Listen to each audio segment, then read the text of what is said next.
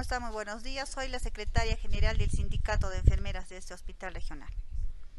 Ustedes tienen serias denuncias que hacer, al igual que la, una de las trabajadoras que ha presentado ya su denuncia. Ante todo, muy buenos días, pueblo cusqueño. Hacer reiterar nuevamente lo que está pasando en nuestro hospital. Nosotros hace tiempo, como sindicato y gremio de, de enfermeras, hemos solicitado todo lo que eran insumos de, de, protección personal en el momento oportuno y en el día oportuno. Pero nuestras autoridades al parecer no toman cartas en el asunto y ahora tenemos las consecuencias de tener colegas que están contaminadas con el COVID-19. ¿Qué va a pasar ahora eh, con ustedes? Imaginamos que tienen un gran temor de seguir laborando en estas instalaciones. Mire, nuestro trabajo es nuestro trabajo es de brindar, dar atención a las, personas que están delicadas. Tenemos la vocación de servicio. Por ende, Señor, nosotros vamos a seguir trabajando.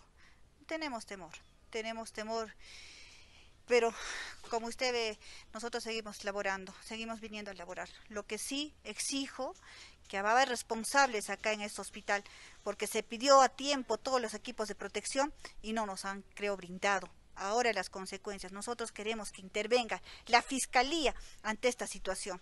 Cree que es el autoritario de acá de, del hospital, es lo máximo, él dice. Y ha sacado a nuestra jefatura de enfermeras para poder poner a dedo, a nombre de él, indicando que el gremio y sindicatos no existen en nuestro hospital. Entonces, eso hace entender, señor periodista y pueblo cusqueño, que nuestro hospital solamente está regido por una sola persona, que no está haciendo lo que debe ser es mi pregunta hacia al parecer porque una persona que es director de un hospital escucha a todos enfermeras médicos obstetrices técnicos de enfermería pero no de esa forma que nos pueda decir que es que es lo máximo en este hospital Mira, no tengo conocimiento exacto de las cifras exactas porque ninguna persona nos ha dado en un comunicado cuántas personas estamos infectadas en nuestro hospital.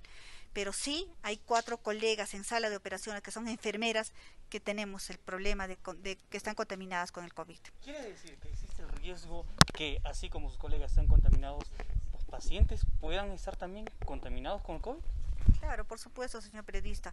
En mi entrevista de hace casi un mes, cuando yo hice la denuncia de que no teníamos los equipos de protección, indicamos que teníamos pacientes asintomáticos.